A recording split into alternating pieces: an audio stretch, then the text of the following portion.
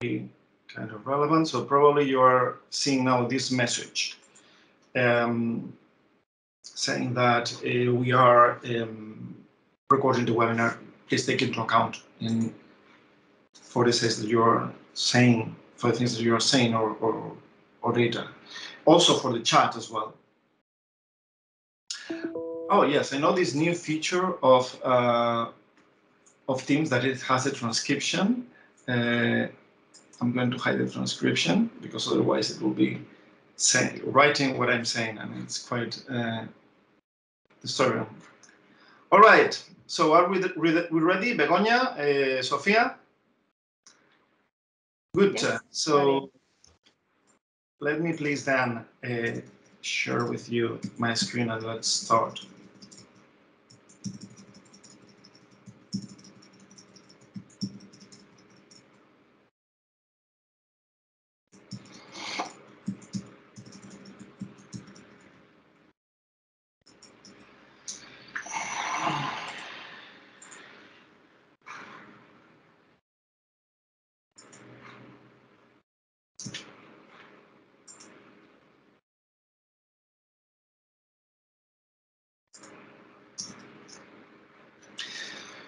Good, uh, good morning, everyone, and thank you for being with us today in the presentation of this series of webinars uh, for the ECIU Smarter project, series of webinars on citizen science. We are very, very glad that we are starting this series of webinars um, with, uh, I think that an excellent representation of, uh, of uh, stakeholders of citizen science in the ECIU community.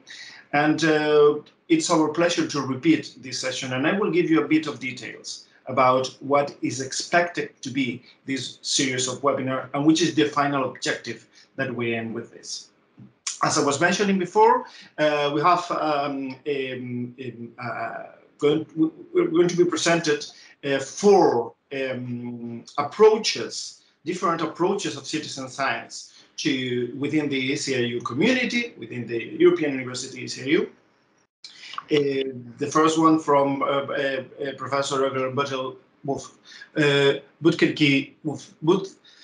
Butkeviciene, Citizen Science as an innovative form of citizen participation for welfare society development. I, I, I, I promise I had practiced that. Um, sorry for that. The second one is Anne-Isabelle Libelleux uh, from Citizen Science and as an Opportunity for Diversity at uh, El site Ria de Aveiro from the University of Aveiro. The third presentation uh, will be made by Ms. Anabel Sánchez uh, from the CREAF uh, Institute at Universidad Autónoma de Barcelona, Citizen Science CREAF Landscape. And I will take also the opportunity of sharing with you this ECIU Smarter project and its approach to citizen science, which is in some way putting us together. Um, so please let me humbly start with a small presentation. I will do this for all for all of us because one of the comments or, the things that we need with these actions is to to know each other better. So let me kindly, kindly introduce myself. I'm Fernando Vilariño, Associate Director at Computer Vision Center, UAB, and Associate Professor at the Computer Science Department. Um, I give lectures about artificial intelligence. This is my uh, scope, robotics and open innovation. And particularly in this context, I am focusing on models of open innovation using living labs and citizen science. My research has been linked to different areas of artificial intelligence, particularly in computer vision, with a special attention to medical imaging and others. Uh, and I have developed different collaborations with hospitals, companies, uh, working with publications and patents in the field. But during the last years, and more related to what we are going to speak today, I've been participating in the design of different initiatives, both at local and international level, with the aim of the developing novel paradigms of digital social innovation. I led the implementation of a model of Living Lab that transforms libraries into actual innovation arenas by exploring how technology transforms the cultural experience of people through citizen science, for instance. And through this initiative, we had the chance to participate in different events and invited talks in the area of ICT in the context of culture, which is of relevant interest to me. My main expertise is centered around models of governance of living labs for ALEX instruments, innovation in libraries, museums, and the cultural field in general, and my background, artificial intelligence. I am the former person, I have the honor um, uh, of being the former chairperson of the European Network of Living Labs, ENoLL, and I'm coordinating this citizen science pilot at SMART. So please, let me, for those who are not that familiar with that, let me start introducing uh, the context. Our context is ECIU Consortium. The ECIU Consortium is um, a group of universities that has been gathering together for the last uh, years. And very recently, we have developed this ECIU European University that, as you know, is a part of the Erasmus Plus program, a framework aiming, aiming at identifying what will be like the university in 10 years' time.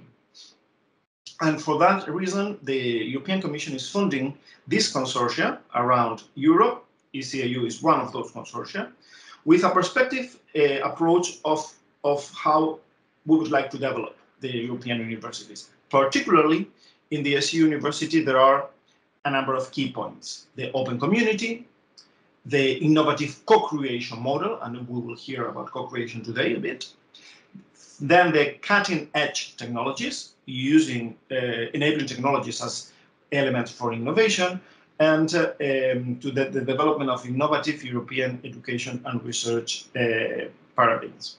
You can see the members of the of, of the ECIU on the right side of your slide, and some of them are participating today in the webinars. We're aiming at having all of them explaining their um, projects on citizen science. So uh, this is the context, the European University. But now we have a project. The European Commission has funded a number of projects for those European universities, including ECIU, in order to develop these paradigms. And the ECIU Smarter is one of those projects, a 26-month project that aims at the development of a virtual uh, a research institute for smart European regions. And for that reason, it is called Smarter, aligned also from the smarter specialization approaches. There are a number of, of activities that are linked to the Smarter project. And I invite you to, in, to contact your, your, your ambassadors at your universities in order to know more. For the time being, in these five minutes, what I want to focus is that there is a number of, of actions related to a, an academy and seed program, allowing for members to collaborate among them in research projects, citizen science in practice, deepening in public engagement, and a platform for citizen science. So eventually, what we are aiming at Smarter is to have a test bed in order to understand how citizen science and other things are going to be developed in this European Institute for Smarter Regions. The expected outcomes of this is uh, basically the assessment and validation of the ECIU vision in practice, a number of guidelines and toolkits for the replication in order for the uh, ECIU members can replicate the actions that we are doing and a number of dissemination as, uh, actions, particularly the assessment and the validation of pilots in citizen science. And this is quite relevant because you can be interested in this assessment of pilots. So we are learning by doing, and by doing citizen science, we will learn which are the needs of this citizen science approach. This is the general context. Of course, the Smarter project is larger, uh, and this is the, the, the, the, the pathway that we are expecting to, to build in these 36 months. But particularly, we are going to focus today in this citizen, in this component, the development of the citizen science platform and the citizen science pilots. You can have here a timing for citizen science actions in this context. We're starting today with an action for community building the uh, uh, smarter webinars on citizen science. This is happening during September until November. On the third week of November, we're going to start a co-creation process in order to develop these transnational pilots on citizen science the, in the context of ECIU Smarter. We're expected to arrive to Q1 2022 with this process finishing and the pilots running in Q2 2022. Uh, and after 18 months, we are expected to have all the pilots running, minimum of two. And these pilots will be the test bed to which we are going to look at in order to create a robust framework for supporting citizen science in our community. So this is a very interesting uh, approach by doing, learning by doing, and we're going to focus now on this aspect. We're starting the opening the can, let's say, in with this uh, series of webinars on citizen science. Here, I want to underline this community building because it is impossible to develop this approach if our researchers and our stakeholders cannot speak among each other. So with this, please, I want you to, to, to, to, translate, to be ambassadors now to universities for all the presenters and the rest of the people in order to motivate you to have as many researchers in citizen science as possible, and as many stakeholders, personnel for administration, etc., that can help us to create this community.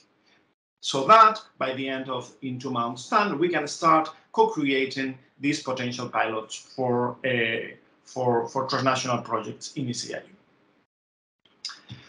So this is the general approach uh, that we are uh, now starting, that now you have the context, and uh, now I have the pleasure to introduce you the first presenter.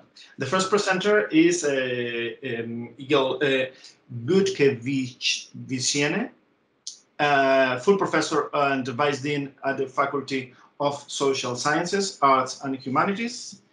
And um, uh, she's also a visiting professor at the University of Central Florida. She gives lectures and conducts research on civil society issues, civic participation, social innovations, citizen science, social entrepreneurships, community development, and social inclusion, environmental activism, social networks, and social impact of technologies. Egle is is doing a lot of things and all of them are super interesting. So i think that you will you will understand and learn more about the projects uh, for democratic efficiency for empowering youth on creating innovations and supporting sustainable institutions empowering the next generation of social enterprise enterprise scholars for instance. But in addition to that eagle egle is also doing an advocacy and um, job at the European Commission being part of a number of program committees, for particularly for social societal challenge six, the European Changing World, and is a member of European uh, Horizon 2020 Advisory Group Leadership in Enabling and Industrial Technologies. So I think that it is a pleasure to, to start this uh, series of webinars with Egle. Egle, the word is yours. Thank you, Fernando, for the introduction. And uh, I'll just share my screen. I'm sorry, I think I did it a little bit earlier. Was uh, didn't want it to be late, so that's why, perhaps. Okay, so today uh, I would like to briefly um, introduce what we are doing in uh, Kaunas University of Technology. And uh, with this, I uh, decided to share uh, with you one of the, our national projects of, on citizen science. Uh, actually, this project is um, focused on co-creating knowledge in citizen science projects and uh, to develop partnerships of scientists and citizens. Uh, let me uh, briefly introduce the context why we started this project. Uh, first of all, uh, thinking about the university mission, uh, what are the missions of universities and research institutes? It should not be just education and research, right? Um, we always and most and most um, often speak about uh, social change and social impact that um, uh, universities uh, might do on a society and might do with a society. Another aspect is that we are speaking that our research should be uh, inclusive, should be responsible. So thinking about all these dim dimensions of uh, RRI, uh, as ethics, uh, societal engagement, gender equality, open access and science, and science education.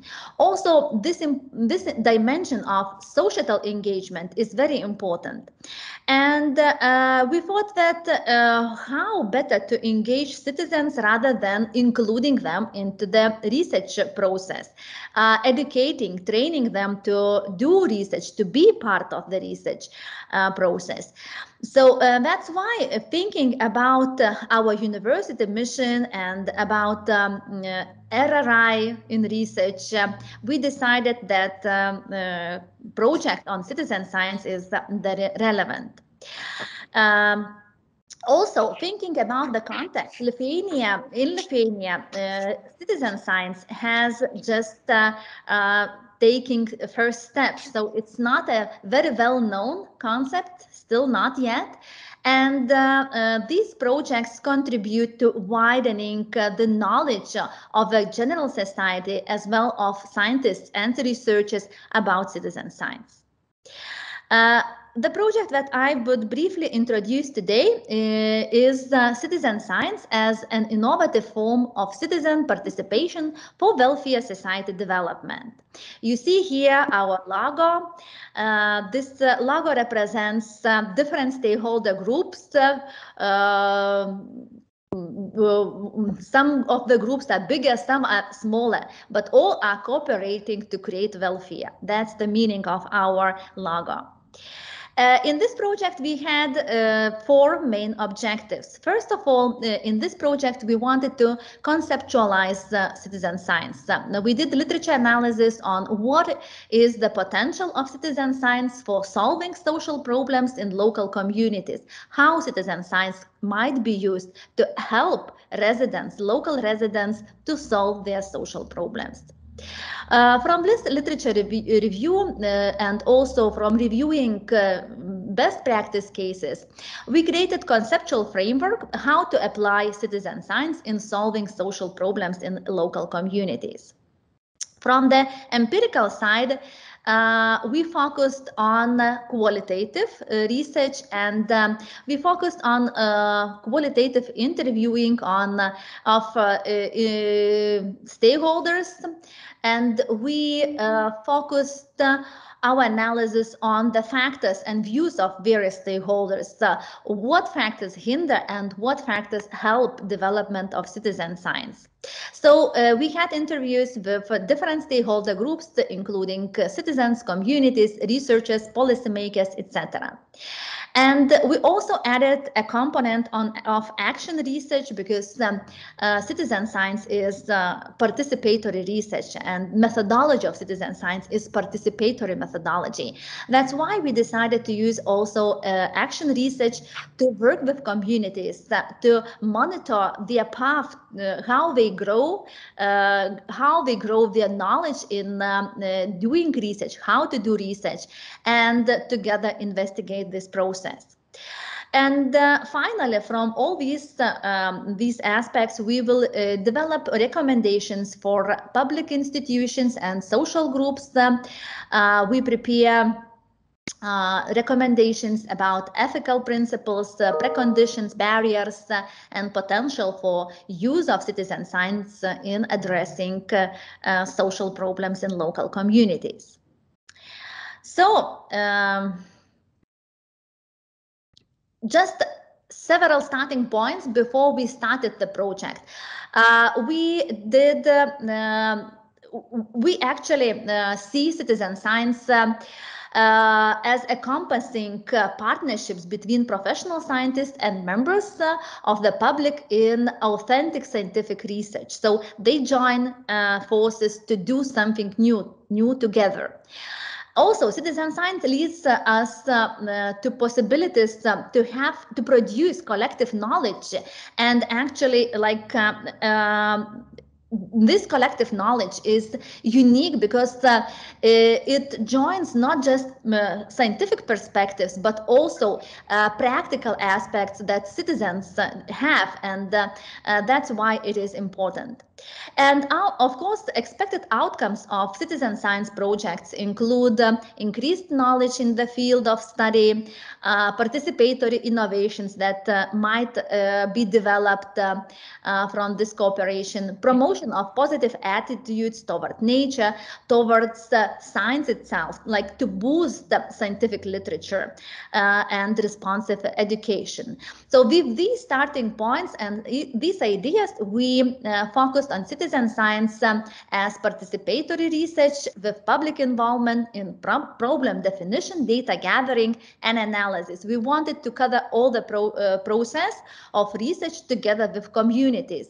And um, in this regard, addressing issues of uh, concern, including action for social also uh, policy change. And we used this uh, uh, action research methodology to have democratic and participatory knowledge creation. Uh, and the aim, the main aim, is to help communities to solve their local social problems. Uh, so um, uh, also I would like to uh, uh emphasize the aspect that uh, we focus not generally on citizen science. This project is related to citizen social science. which um, is at least understood by us uh, uh, in terms um, that it is a form of citizen science um, in social sciences and uh, uh, it is one that uh, has a specific focus on the social aspects of uh, citizen science. so comparing like generally what, what is citizen science and citizen social science, uh, we see uh, citizen science as a broader concept, while uh, citizen social science um, is uh, an integral part of citizen science. Uh, we also uh, see differences in um, object of uh, citizen science and citizen social science because uh, citizen social science um, uses uh, citizens gathering data about the social world they observe. So they uh, like gather their data from the around the, the environment they live in also differences in social impact. Uh, citizen uh, science usually uses citizens for research as policy passive objects and uh, uh, in citizen social science, um, citizens are active. They active actively transforming their environment and um, uh, the system they live in. And also differences in methods.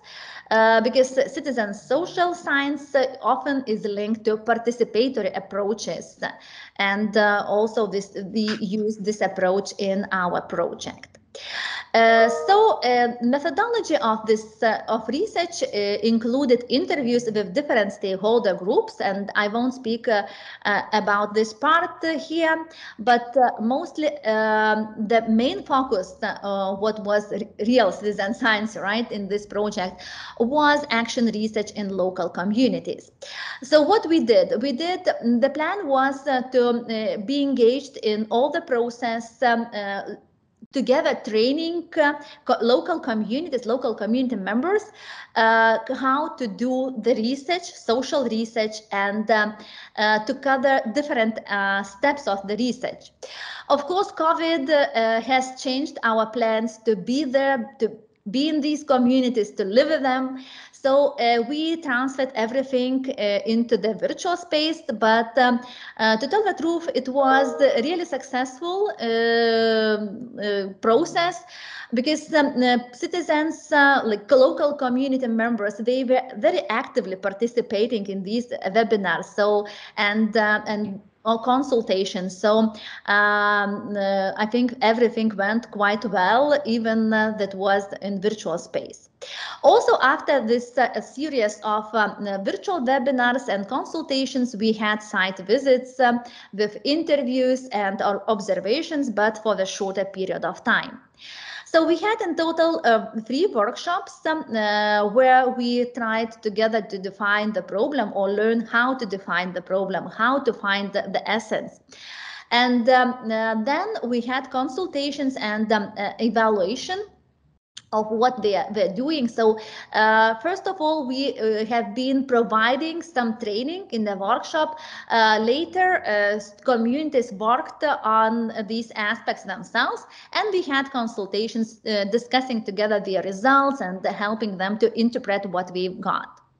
The second workshop was on doing research, so presenting different research methods and uh, communities have chosen what methods they will use for their local, uh, local problem uh, definition and investigation.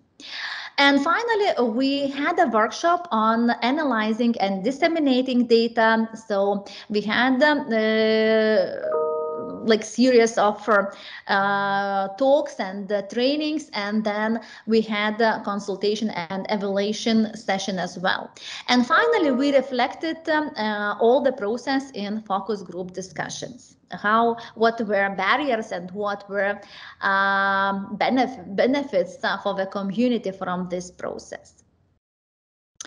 So uh, we started, as I said, from problem definition. You see here uh, uh, small um, like an example of what what um, actually one of the communities uh, did. For example we started what is what is the problem and um, uh, what uh, are the roots of the problem? And then what are the consequences of this problem? And then we decided which of the problem is uh, essential to grasp in their research. So that's a, just an illustration from the community how we worked on a problem definition.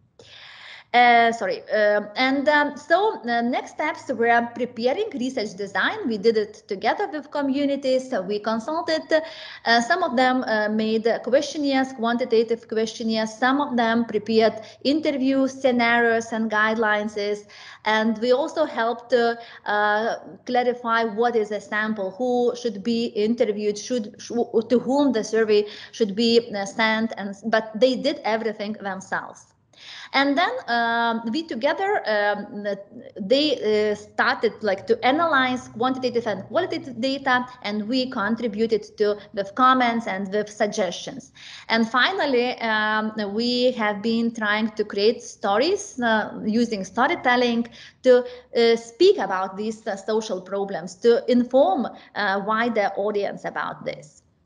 And after this, as I said, we had on-site uh, um, visits uh, with interviews and observations. So to sum up, um, I uh, think that I'm still uh, within the range of time, right? Um, just to uh, briefly uh, sum up, what we found from this research actually how did communities benefit from uh, citizen science? So first of all it's about new knowledge about uh, social research process and uh, i think it is a, a, quite good tool to empower themselves to be more uh, confident uh, in solving social problems and to find innovative solutions um, how to engage new members how to attract youth for community activities. Some of the communities wanted to find collective ideas how to fight insects that are coming into the fields and uh, to solve environmental problems um, uh, as uh, pollution or uh, uh, other aspects of environmental problems.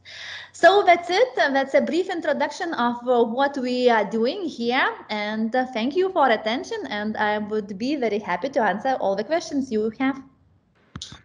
Thank you very much, uh, Egle. Um, first of all, I would like to invite the participants to share their questions through the chat uh, of the Teams meeting, and uh, we will be happy to translate those questions also to Egle.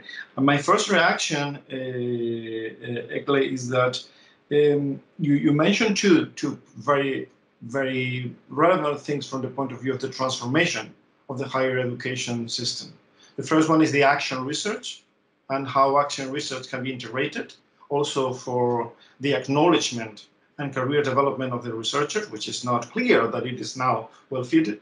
And the second one is citizen science as an element of uh, mm, contributing to a theory, theory of change, societal change, right? I would like to, to, to ask you in general, probably maybe you can have a comment on that more than a question regarding these two points how do you perceive action research in the context of current higher education?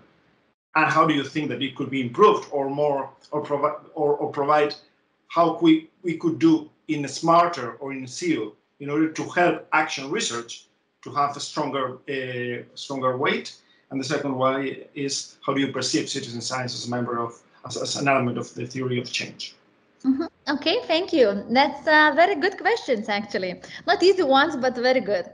so, so first of all, I would start about um, uh, uh, answering your question about action research.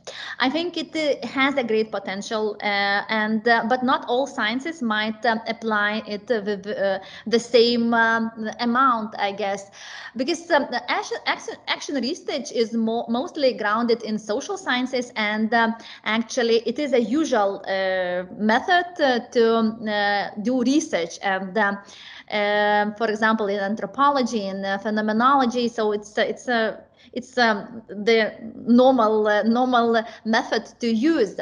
Uh, but um, of course, um, it's um, a very uh, complicated method as well because um, it requires uh, from the researcher a lot of time and a lot of dedication because you have to be engaged into the problems. You have to not just it's easy to do a survey, right? You just create questionnaire, send it out, and get data, and that's it. But action research takes you all into the research, right? So you have to participate. So it's um, it's not uh, so easy to implement, and um, it has. Um, uh, some some uh, complexities as well but i do think that uh, actually with citizen science action research methodologies will be more more used uh, rather than uh, they were uh, till now and I do believe that actually engagement of citizens in, in the research process, it enriches the research process as well. So it is a,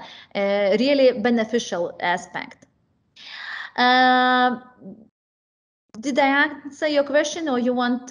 Yes, very, very, very. Uh, I would be happy also to develop this, uh, this, and to challenge this view that action research is only for uh, social sciences. And we had a very interesting approach in the European network of living labs in order to integrate uh, hard technologies, IoT and action research as well. And uh, but, but these two elements of hard science, hard technology, and societal technologies based on the, on on on citizen centered approaches, I think it would be really interesting to develop, and probably this exactly. year. Probably would. Uh, I just think that it's more uh, kind of uh, used more widely, uh, widely used in social sciences. It's not a new method, but for uh, technological sciences, it might be something new, some something that uh, uh like you have to change the mentality of doing research as well. So I think it is a good challenge, and uh, uh, yeah, together with uh, different aspects from different sciences, it's uh, it, it might be very be very uh, relevant and uh, interesting to do. And another question is about social change. So I see direct influence um, for citizen science and social change, especially in um, the citizen engagement into the process of research process. So uh, transforming uh, uh what is university and what is the mission of university and expanding this, I see really big potential of citizen science to make and to, to contribute for the theory of change fantastic. I, I, I can react here um, and we'll probably have time later in another moment in order to develop, for instance, in, in UAB, we're using we're having a project, the Transform project, in which citizen science is a component for new policy, new, new policy creation and co-creation. So, uh, mm-hmm. Egle, it's a pleasure to listen to you, and uh, definitely would be great to to keep on doing uh, in the close future. So, thank you very much for for your for your contribution, and please uh, stay around, stay around this Matter project. Okay, okay. So, thank you, thank you. Okay, thank you to you, Egle. Uh, so let's go now to the to the second presenter. Um, as I was saying, it is important also for, for, for ECIU and SMART-ER to integrate all the community of, of researchers and support, administrative support, and people who is contributing to the citizen science because it's, it's a co-creation process, an actual co-creation process. And for that reason, we have the pleasure to have uh, our colleague from UAB, uh, Anabel Sánchez Plaza, uh, which is the Societal Impact Officer at CREAF UAB. So this is this soft uh, linking with the previous presentation is very good, uh, uh, Anabel. Anabel is a biologist herself, working at CREAF since 1996 uh, and has been involved in national and European projects aiming at assessing the impacts of climate change on forests and aquatic ecosystems and their vulnerability. She has also been implicated in identifying adaptation measures and strategies, working together with local stakeholders which is one of the topics of our, of our webinars and public administrations. She has coordinated diverse citizen science projects involving citizens in co-creation activities, data gathering, and ecological observations. She has recently been appointed Societal Impact Officer at CREAF, and thus uh, she has a responsibility to lead the institutional research impact strategy and to maximize and give visibility to the impact of CREAF's. So no one better than Anabel to speak about CREAF's contribution on citizen science, including the promotion of it with projects with institutions representing CREAF in the citizen science and nature community led by the Catalan government as well. So uh, with this introduction, uh, I would like to give the floor to Anabel. Anabel, the floor is yours. Thank you, Fernando, and good morning, everybody. I'm uh, really honored to be able to be here with you today. And uh, as Fernando was saying, I'm actually not uh, leading or implementing any specific citizen science project within CREAF, uh, but I do have the responsibility of uh, promoting citizen science within the, CREA, the within CREAF research. So uh, I think it's this is a wonderful opportunity actually to share and exchange our experiences around citizen science. In our case, it is related to citizen science and nature because that's what uh, it's the main aim of our research institution. So we, uh, CREAF is a research institution that does uh, research around terrestrial ecology. It's a public research center, and we really are very much focused on generating knowledge and tools to try to face the main environmental challenges that our society has uh, at present. Within our board of trustees, so in our government uh, body, we have the Autonomous University of Barcelona, and that's why we are part of these seminars too. They have uh, started to structure uh, research that incorporated incorporated citizen science around 10 years ago. So we have uh, had already quite a few experiences uh, around uh, how to uh, give this promotion and impulse to citizen science research and open uh, our research line to this new way of doing research. At present, we are part of different net networks, national and European, that uh, aim at uh, promoting citizen science and research. During these years, we have developed expertise around different aspects related to citizen science. So we have some specific researchers that uh, are quite experts, for example, on data quality or data interoperability. That are some of the things that um, nature related, at least uh, citizen science projects uh, have a need to understand. Uh, we have also developed quite uh, intense expertise on how to create citizen science communities around uh, nature themes. And uh, we have quite a powerful communication department that collaborates with the citizen science projects. We also um, have specific projects that have that target the educational sector, so formal and non-formal education, and, and there's a lot of work in uh, in promoting the participation of this educational sector in citizen science projects. And finally, just to mention that within CREAF, we, we have and we have had uh, a broad range of typologies of uh, citizen science projects regarding the level of participation of citizens in research. So we have projects that are more related to that data collections from, from citizens, but we have also had experience of more co-creation related projects. So involving citizens together with scientists in uh, problem definition, also problem shooting no? and problem solving. So what can we do to uh, to face the challenges, environmental challenges in this case, that specific community has. So we've had a broad range of experiences also regarding the level of participation.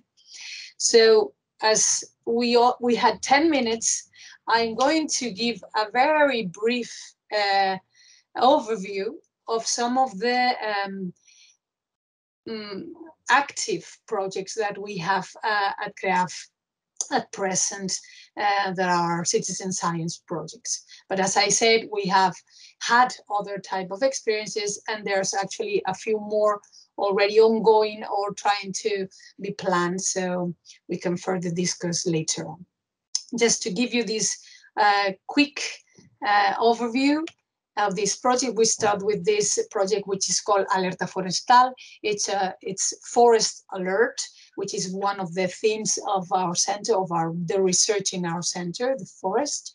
In this project, we involve citizens uh, uh, providing photographs of uh, forests affected by different kind of forest alerts. So, for example, damage caused by pine processionary moths or damage caused by droughts, uh, wind damage, snow damage, also damage caused by invasive species that affect forest. So this is uh, the, the, the, thematical part. And the research part of this project is to try to understand better we, uh, which forests have their health most affected and how this will change in the future in a climate change context. The engagement of citizens is around the contribution to this uh, citizen map of observations of, of forest health.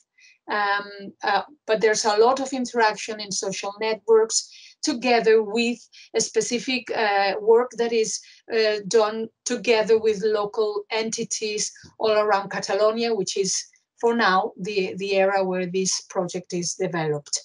This project is very much linked also to generating learning and awareness raising materials. So we have also this objective of increasing science literacy and increasing the uh, the knowledge that citizens have on these uh, problems that uh, forests uh, are affected by another project we uh, have. I'm not sure if I now.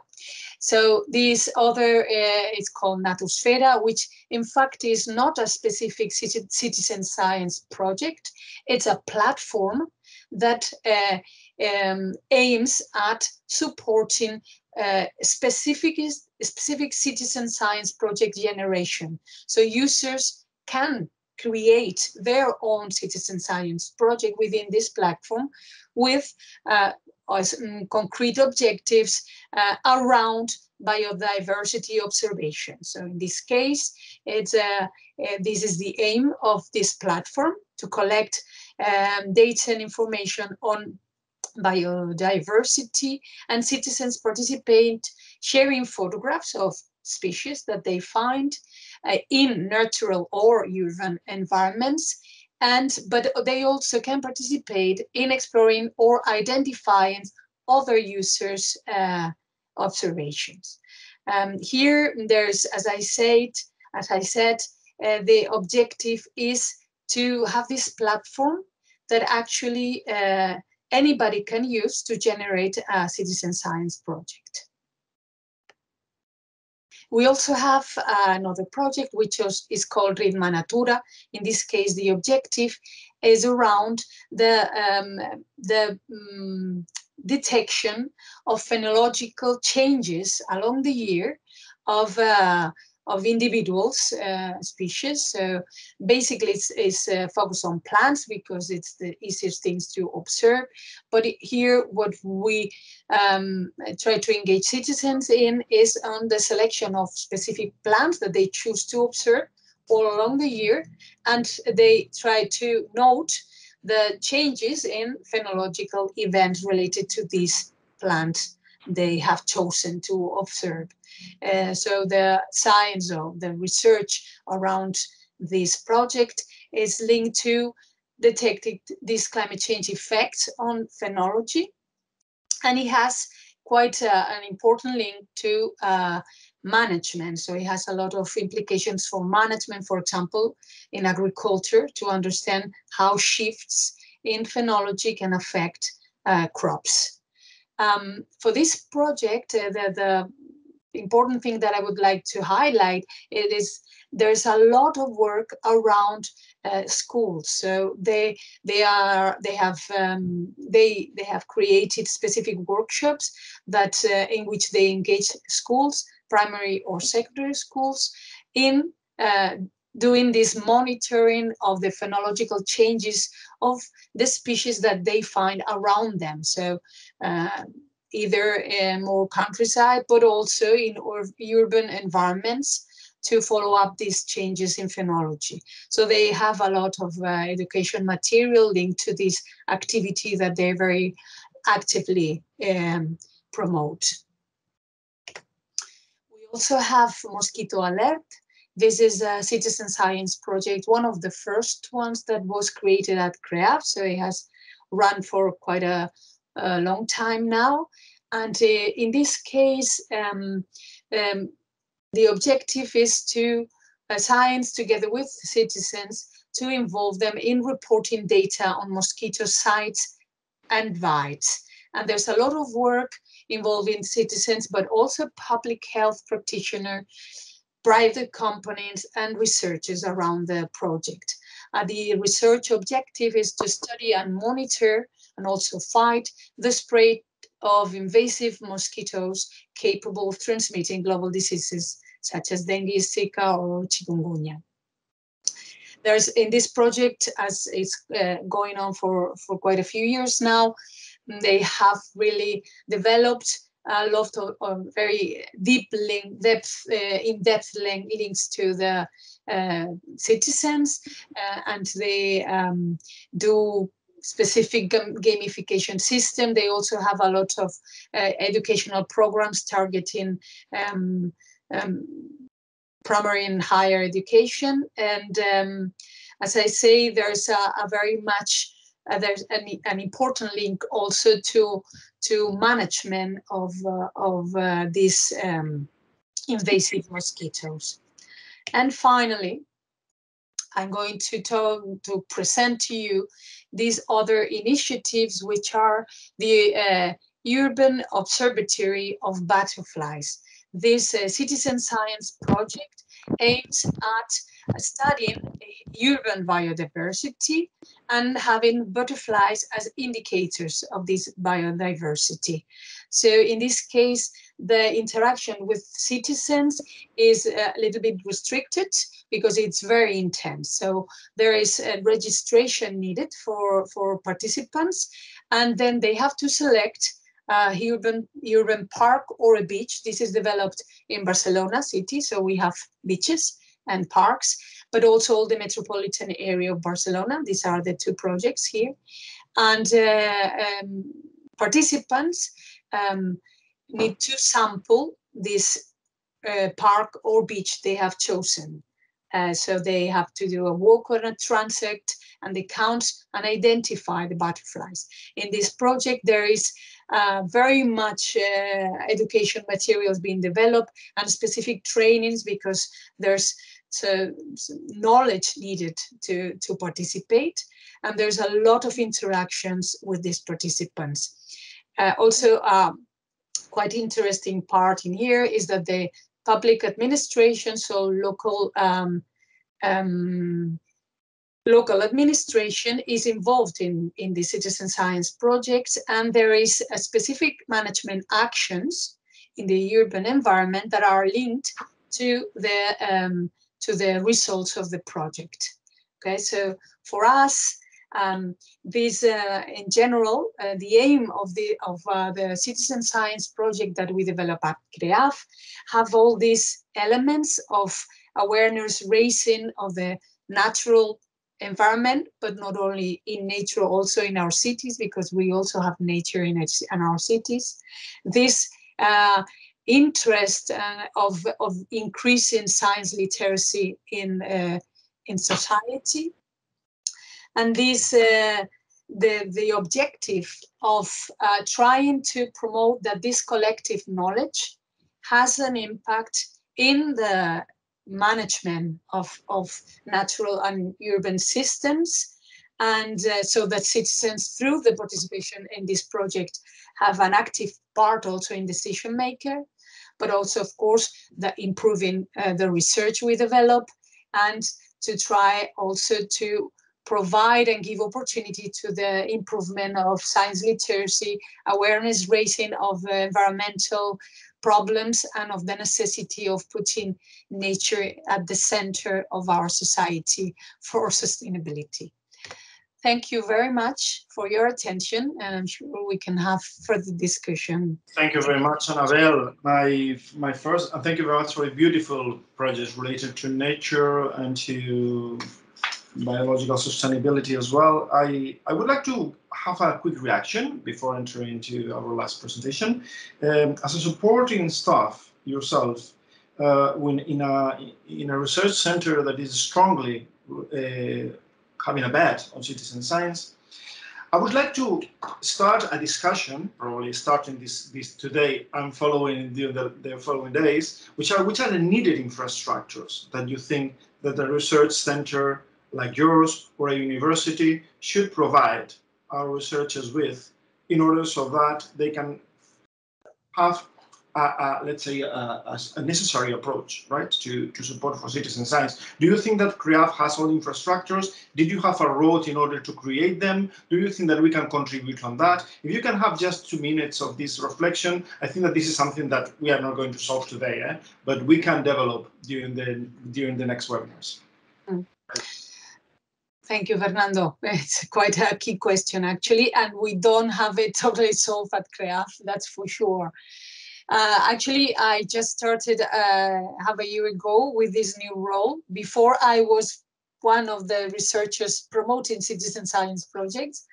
Uh, so we we are starting to try to find common needs of the different projects and uh, and trying to see how is this how is it possible to actually support the development but also the maintenance of citizen science project which is one of the key difficulties i think. So for for in my opinion citizen science projects need this um, to have everybody on board and that's of course quite difficult. To have researchers interested in open their research to society, because this is actually one of the main key elements of citizen science.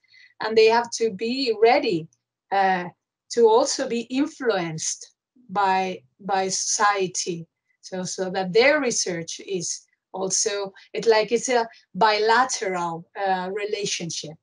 And so there's this part of supporting researchers in understanding what citizen science is, what it involves, the cultural change it it it, has in the way they are uh, used to do research. This is one of the parts.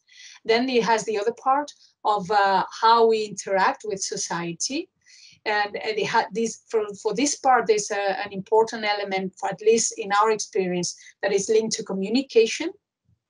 And this could be part of a infrastructure. So to have a really dedicated part uh, of, uh, of uh, an institution that can support the communication, the intense need of communication with society that citizen science projects demand. And uh, of course, there's another part that is more linked to, to the connection and contact with all the key actors of society that can uh, be linked to your projects and can contribute.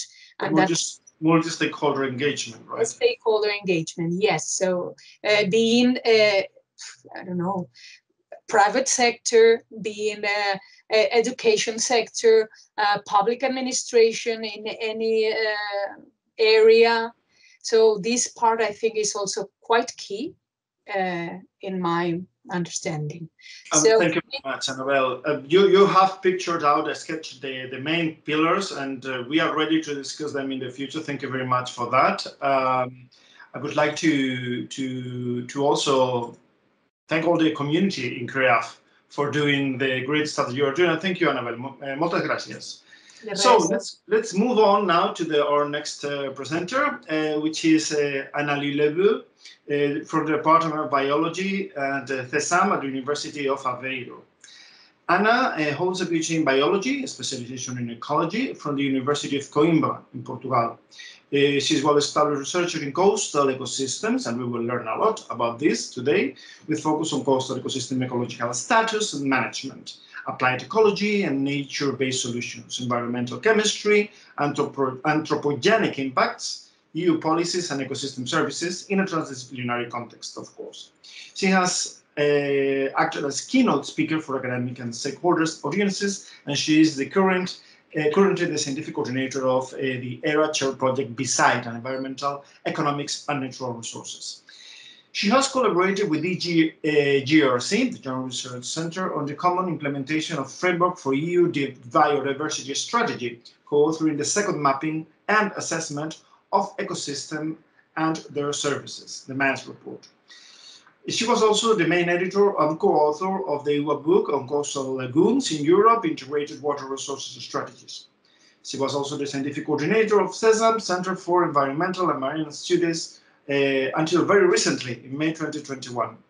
Uh, since 2015, she is a member of the Council of the Portuguese Centro Hydrographical Region, which is an advisory and supporting body of the Portuguese Environmental Agency in terms of water resources.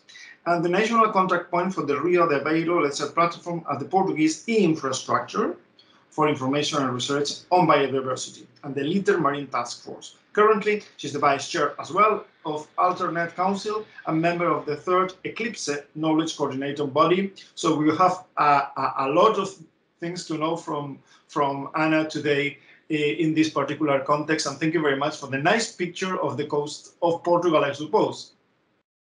Yes, thank you. Thank you very much for your uh, for your introduction. Um, I would like to give you some uh, examples of initiatives that are taking place at uh, the platform uh, long-term uh, ecosystem research uh, platform, which is the Aveiro region. Uh, I would like to state that this is, uh, uh, of course, teamwork and in a multidisciplinary context, and most of the time in the international context. Uh, but I would like to give you some examples of uh, what is going on and in the context of uh, um, the long-term ecosystem research that is taking place in the Aveiro region but always in a social ecological perspective. That's why it's now designated as a platform because it has been for one decade now uh, always addressing in the science policy stakeholders uh, interface. Um, the region is more, this is the coastal lagoon. Here is Portugal. We are on the western uh, coast. And uh, this is uh, the long-term uh, research uh, area. So it's uh, this is Aveiro Coastal Lagoon. It's a freshwater, includes the freshwater part and the coastal area. And this is the drainage basin of the Vouga River. But this to show you that in terms of environmental or aquatic realms, it is quite complex because you have rivers, freshwater lakes, uh, uh, brackish or transitional waters, and then coastal waters. So uh, in terms of uh, uh, habitats, it is quite uh, complex. And then also the uses that also makes it quite challenging for the integrated management of these coastal areas. And of course, uh, it has uh, salt marshes, seagrasses, salt pans uh, as natural habitats. So they are also recognized as um, through environmental policies, namely it's uh, all this area that we have highlighted here is designated under the habitats and the birds directive uh, directives. So it's classified as Natura 2000. So our our long-term ecosystem research area uh, is um, covers these uh, different aquatic realms in the uh, social ecological perspective. And uh, one of the examples uh, that we have been, uh, initiatives that we have been taking is how citizen science can uh, be applied uh, not only for biodiversity monitoring, which I will focus in more detail, but also for the integrated management of this area.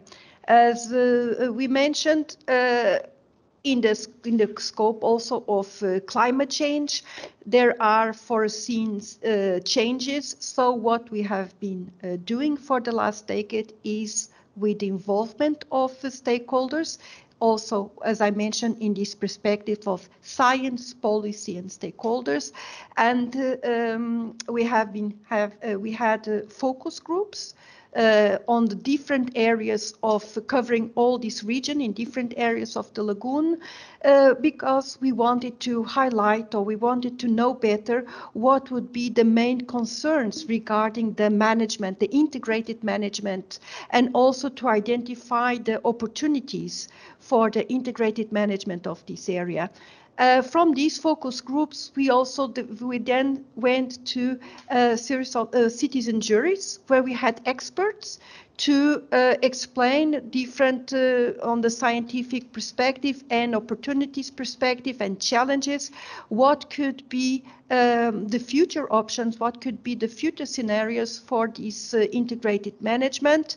And we got the recommendations recommendations from stakeholders from the different sectoral areas, from agriculture, fisheries, municipalities, so um, uh, um, citizens, uh, so we could get these recommendations for integrated management uh, of this coastal area. And actually, it was published in this book that uh, uh you mentioned uh, in the, the kind introduction that you, you made. Um, and of course, this uh, supported us to uh, build up these uh, prospective scenarios. So we also developed the storylines. We co-developed with the stakeholders these storylines, and then uh, we we proposed uh, different um, uh, different recommendations for the integrated management of the area. But going back to biodiversity, here we have a map with different habitats. Um, how did we reach, how did we develop these storylines, these prospective scenarios? How we, did we attain all this knowledge on the system? With the support, with the co-creation, with the support of uh, citizens and all these uh, uh, participatory moments. For instance, uh, habitats mapping. Uh, this was is, is a very important co-creation process. For instance, for us to know the past history of the system. For instance, how were uh, habitats a few decades ago, namely seagrasses, um, how did they first um, um, identify uh, in, um, exotic species that can have or not uh, an invasive behavior. So it's very important to have the uh, local knowledge uh, from to reconstruct the story of the system and then to co-develop with us the future uh, or the, the future scenarios, the prospective scenarios for the management of the system. And it could be in a climate change uh, perspective, it can be on the perspective of the biodiversity strategy, namely if we talk about invasive species or uh, habitats for restoration, as we are also now in the decades, uh, UN decade for restoration, or the implementation of the biodiversity strategy. So all this process of uh, participatory process with uh, um, what I uh, highlighted as habitats mapping. Uh, we did it on the workshops, but we also did it locally with questionnaires. So directly with the, directly with the citizens. And this is an ongoing ongoing project also very important for us for the for the recommendations for the future uh, for the future management. And here uh, in an ecosystem based managed perspective is what was the the elicitation of ecosystem services preferences.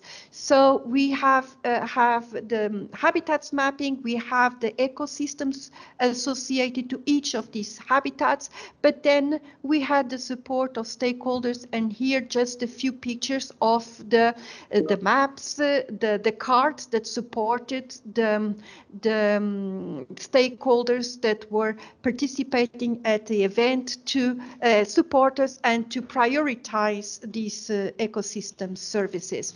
Here, just some uh, publications that uh, can then be um, uh, view uh, as uh, the presentation will be shared. Um, a specific initiative also regards the insects they have a special uh, they got special attention as they are uh, were less studied in this region. And they can also be bioindicators of uh, environmental status uh, good environmental status but also for their potential for instance on biotechnology and then, uh, so in this uh, context, uh, they have been monitored since uh, 2016 uh, in different areas, especially in salt marshes and other uh, um, in these halophytes as they were less studied. And also there was the implementation of a citizen science program for the identification of insects in this region. Um, this was also presented. Students were involved. Actually, this was um, multidisciplinary um, approach involving also students from electronics to develop this application. And this also allowed us to identify the trophic networks of uh, the insects and also to uh, relate them to the provided ecosystem services. So uh, master theses were uh, produced and other publications that can also that are also available. Um, another initiative now regarding uh, invasive species. Here it's also very important uh, uh, the opportunity to have uh, citizens involved. This is a cost action uh, where one of our colleagues is involved. This initiative has been postponed due to COVID, but it's now foreseen for for the uh, for the next year. So it's uh, an, an initiative that will take place. Once again, this is not directly organized but our, by our team, but uh, our team is involved. So it's also a topic where it's really important and an opportunity to have uh, citizens, uh, in this case, identifying um, invasive species, which, as we know, it's one of the major threats to biodiversity in all ecosystems and not only in coastal areas. And then we have another initiative, uh, another project going on. Uh, actually, it's more than one project on seagrasses restoration. And here I would like to highlight that uh, uh, from the previous uh, um, science policy uh, stakeholders um, co-creation uh, stakeholders uh, projects. One of the recommendations, and it is acknowledged by all sectors, is the need to restore seagrasses, to protect and to restore seagrasses. So, and one of the threats is actually an alien species with an invasive behavior. So, and it's a polychaete, and uh, these initiatives are taking place. And here it's also an opportunity for citizen science, uh, not only for the protection of seagrasses, also for the for the support to these uh, um, restoration actions, but also to uh, identify and to monitor together with us the uh, invasive behavior of these uh, species that can uh, that is a threat to this ecosystem. Um, so here you have a nice picture of an area that is being uh, restored. So slowly uh, it is being uh, improving the, the, the, the, area covered by uh, seagrasses. So highlight also some publications resulting for the from these uh, from these ongoing projects. Um, mostly are now this what I highlighted is what is going on presently and in the near future. But of course, all these activities result from a co-creation process that lasted for one decade, else it would not be possible to have an ecosystem-based management approach, which, as we know, uh, has um, has uh, science and policy and namely stakeholders as the main driver for uh, ecosystem-based management. Thank you very much.